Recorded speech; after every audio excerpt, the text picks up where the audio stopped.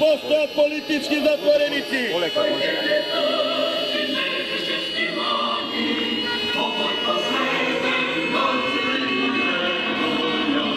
Го прекршија Уставот, Законот и Деловникот на Собранието на Република Македонија.